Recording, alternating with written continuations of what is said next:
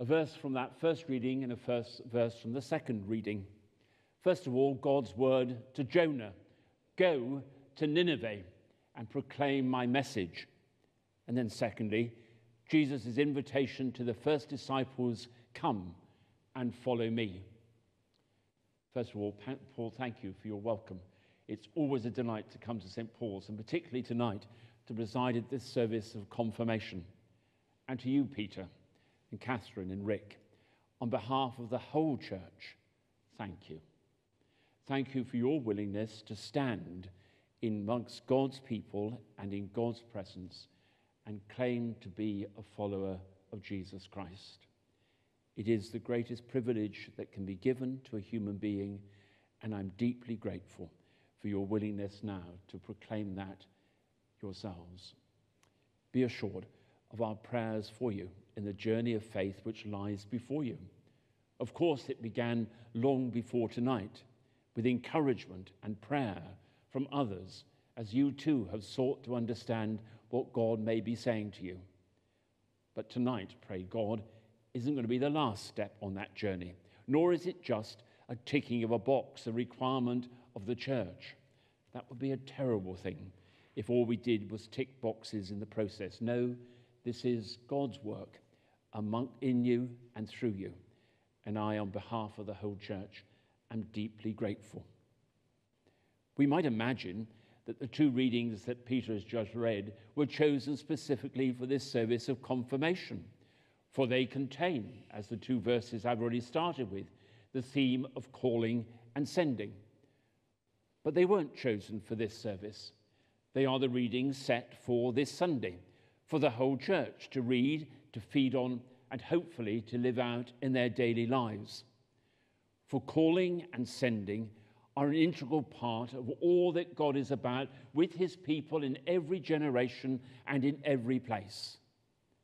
God has always called his people to come and follow him, to listen to him. And as he calls, so he at the same time sends those who respond to go in witness and in service.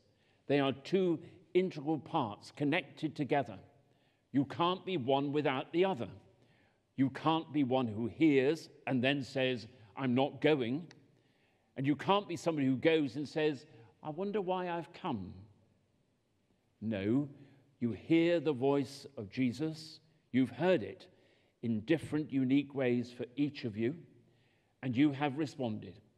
Here am I, you have said. And in a few moments' time, we shall hear you say that publicly that you are turning to Jesus Christ. So you've heard that voice. And tonight, through the laying on of my hands and our prayer for you, God will confirm that call and your hearing in and through you. It is a profound action of God in confirming us for what is confirmation, but the making strong of human commitment, the making strong by God's Holy Spirit on you as you've heard it. But having heard and having come to this point and having been confirmed, he immediately sends you. Hopefully, not to Nineveh. You never know. But he will send you to witness and to service in your communities. And you will each live out that going, that witnessing and serving in your own particular, unique way. But you will do it empowered by and in the name of Jesus Christ. You become a witness to that work of God in and through you. By word and action, we pray, you will bear that witness, not only in word, but in action as well. Bear witness to that love of God in Jesus Christ who transforms lives.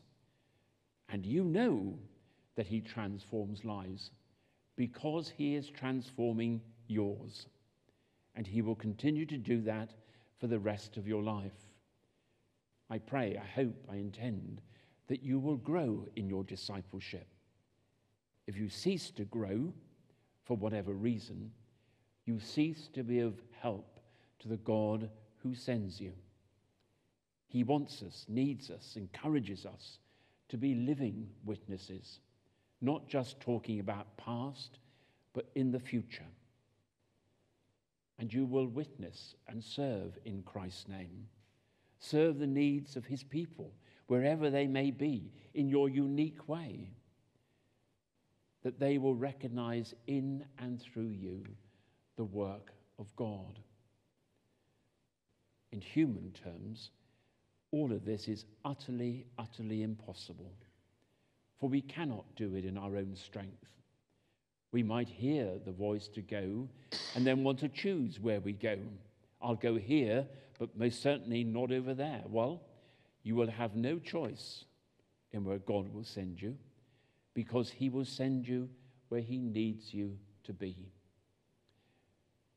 So, sister and brothers in Christ, let me encourage you to continue to grow in your discipleship.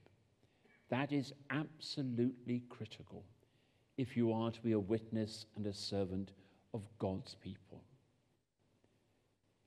Grow day by day in your engagement, your struggle with Scripture itself. Grow day by day in being part of the community of God's people. We who gather around you tonight to encourage you on that journey. Whatever else you may be about, don't ever become so busy, too busy, that you neglect your own journey under God in Jesus Christ. In my experience, it takes time and it demands rhythm, day by day, week by week. Don't set yourself impossible burdens but equally don't neglect that journey. And if you are to be a witness and a servant of God's people, remember that they are God's people you're going to witness to and serve. Not yours, not the churches, thank God, but God's people. Treat them as those whom God has made service and witness to Jesus Christ, in my experience, above all else, requires gentleness. Before we can witness, before we can serve, we must first of all listen. Listen to their needs. Listen to what's going on in their lives. And then, by His grace, you may and will indeed be able to bring that word of hope, that touch of life, which is God's gift to his people.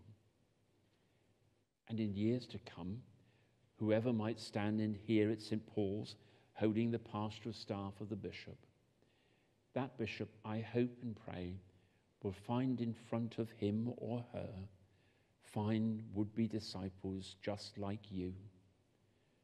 And some of them will be here because of you, because of your care of them, your encouragement of them, your service of them. In you, that they will have seen this life changing work of God in Jesus Christ. You may never know who they are, and in many ways, pray God you never will know who they are, because you might be tempted, perhaps you won't, but it's a real temptation to say, they're here because of me. No, no.